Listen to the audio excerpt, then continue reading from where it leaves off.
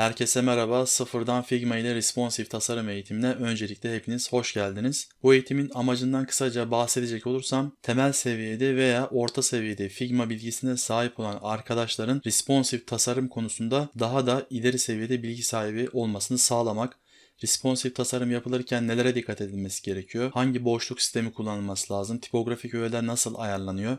Grid yapısı nasıl olmalı ve benzeri tarzlarda soruların cevaplarını bulabileceğiniz bir eğitim seti hazırlamaya çalıştım. Eğitimin içeriğini de sizlere şöyle göstermek istiyorum. Öncelikle responsive tasarım hakkında bir bilgi sahibi olacağız. Nedir? Avantajları nelerdir?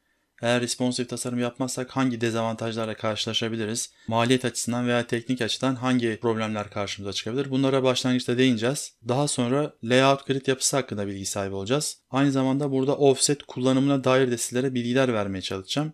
Bu temel konuları öğrendikten sonra Figma'nın en önemli konularından bir tanesi olan Auto Layout ve Constraints konusunu derinlemesine işleyeceğiz arkadaşlar. Genellikle tasarımlarda kullanılan dörtlü ve sekizli boşluk sisteminin kullanımı hakkında da sizlere bilgiler vereceğim ve biz buradaki boşluk sistemini en son yapacağımız çalışmada kullanacağız. Bu yapıya benzer şekilde responsive text kullanımı hakkında da bilgi sahibi olacağız. Örneğin mobilde, tablette veya desktop'ta nasıl bir ölçüyü baz almamız gerektiğini yapacağımız çalışma üzerinde uygulayacağız. En son aşamada ise öğrenmiş olduğumuz bu bilgiler ışığında sıfırdan bir web sitesini masaüstü, tablet ve mobil cihazlara uygun bir şekilde tamamlayacağız. Birlikte yapacağımız bu web sitesini sizlere göstermek istiyorum. Şöyle design bölümüne geçiyorum. Burada fixed, stretch, tablet ve mobil olmak üzere 4 tane ayrı ölçüde biz bu çalışmayı tamamlayacağız.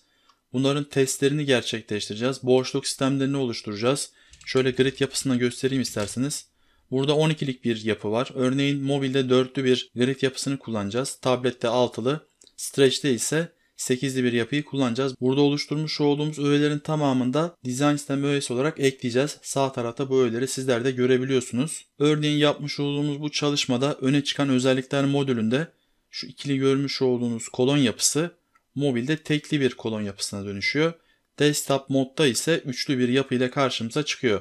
Bazı alanlar ise kaydırılabilir bir şekilde oluyor. Genellikle bunu biz mobilde kullanacağız. Örneğin hizmetlerimiz modülü tablette ikili masa üstünde üçlüyken mobil versiyonu tekli ve kaydırılabilir bir şekilde karşımıza çıkacak. Bunların ayarlamalarını gerçekleştireceğiz. Design System bölümünden de çok kısa bahsetmek istiyorum. Şöyle geçelim.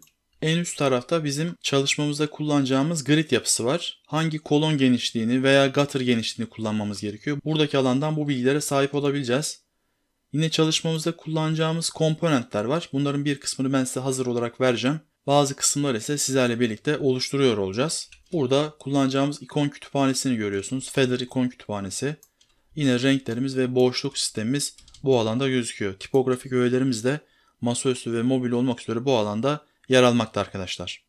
Kısaca benim eğitim içeriği hakkında söyleyeceklerim bunlar. Bu eğitimin herkes için faydalı olmasını diliyorum. Görüşmek dileğiyle kendinize iyi bakın. Hoşçakalın.